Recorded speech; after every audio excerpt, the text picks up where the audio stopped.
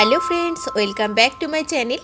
আজকে আমি আপনাদের সাথে আবারও একটি খুবই সহজ রেসিপি নিয়ে হাজির হয়েছি। আমি এর আগেও আমার চ্যানেলে বিভিন্ন ধরনের বাটার রেসিপি আপনাদের সাথে শেয়ার করেছি, তবে আজকের রেসিপিটা কিন্তু অনেকেরই অজানা। আজকে আমি বানাচ্ছি থোর বাটা। আর যে কোনো বাটা মানে গরম ভাতের সাথে অপূর্ব খেতে লাগে, আর এই থোরবাটার স্বাদও কিন্তু জাস্ট ফাটাফাটি। তাহলে চলুন আর দেরি না করে আজকের এই রেসিপিটা আমরা দেখে নিই।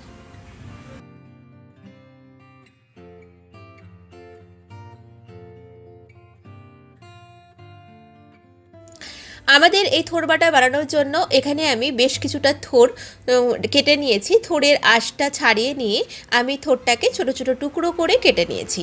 এখন আমি এই থোরটাকে একটু ভাপিয়ে নেব। তো তার জন্য এটাকে আমি গ্যাসে বসিয়ে দিয়েছি। এবারে এর মধ্যে আমি দিয়ে দিচ্ছি অল্প করে ওয়ান ফোর চামচ মতো একটুখানি হলুদ গুঁড়ো আর দিয়ে দিচ্ছি হাফ চামচ মতো লবণ। এখন এটাকে তিন চার মিনিট একটু হালকা করে ভাপিয়ে নিচ্ছি। আমাদের এই থোরটা কিন্তু বেশ ভাপানো হয়ে গেছে। তো এখন আমি এটাকে নামিয়ে জলটাকে ঝরিয়ে ঠান্ডা করে নেব।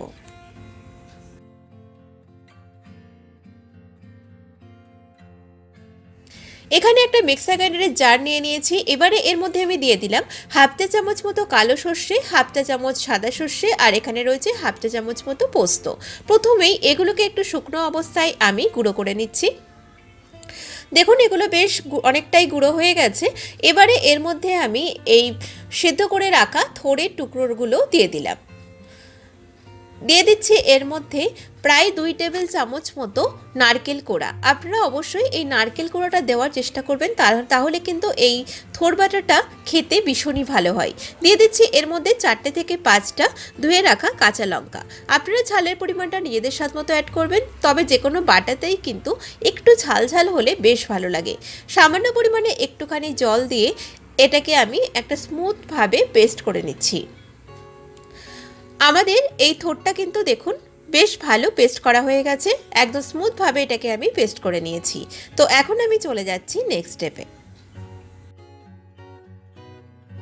এখন গ্যাসে একটা কড়াই বসিয়ে দিয়েছি। এবারে এর মধ্যে আমি প্রায় এক টেবিল চামচ মতো সর্ষের তেল দিয়ে দিলাম। রান্নাটা অবশ্যই আপনারা সর্ষের তেলে করবেন। তেলটা ভালোভাবে গরম হয়ে গেলে দিয়ে দিলাম এর মধ্যে হাফ চা চামচ মতো কালো জিরে। এখন এই থোড়ের পেস্টটাকে তেলের মধ্যে দিয়ে ভালো করে একটু নেড়ে নিচ্ছি। এবারে দিয়ে দিচ্ছি এর মধ্যে স্বাদ মতো একটু লবণ। যেহেতু থোরটা সিদ্ধ করার সময় লবণ দিয়েছিলাম, তাই লবণটা আপনারা বুঝে দেবেন।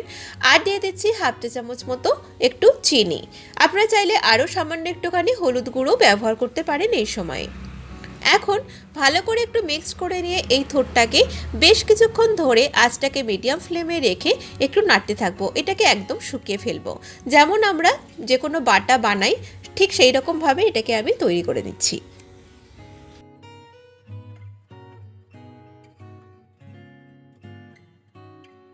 আমরা তো থোর দিয়ে থোর ঘন্ট, থোর ভাজা এই ধরনের রেসিপি খেয়েই থাকি। তো আপনারা কিন্তু বাড়িতে খুব অল্প করে একটু থোর নিয়ে এই ধরনের এই থোর বাটার রেসিপিটা আমার রেসিপিটা ফলো করে বানিয়ে নিতে পারেন।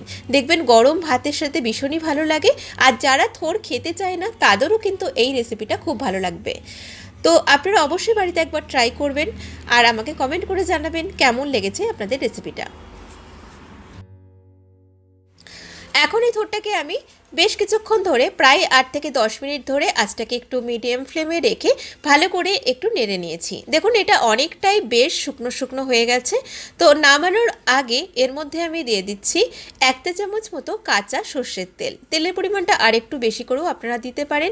আরও একবার ভালো করে মিশিয়ে নিলেই আমাদের এই থোর বাটার রেসিপি কিন্তু পুরোপুরি তৈরি গরম ভাতে সার্ভ করার জন্য। তো আমার আজকের এই রেসিপিটা যদি আপনাদের ভালো লেগে থাকে, অবশ্যই ভিডিওটাতে লাইক শেয়ার কমেন্ট করবেন চ্যানেলটিকে সাবস্ক্রাইব করবেন নিত্য নতুন রেসিপি পাওয়ার জন্য। আপনারা সবাই ভালো থাকবেন, সুস্থ থাকবেন। আমি আবারও হাজির হব নতুন কোনো রেসিপি নিয়ে। নমস্কার।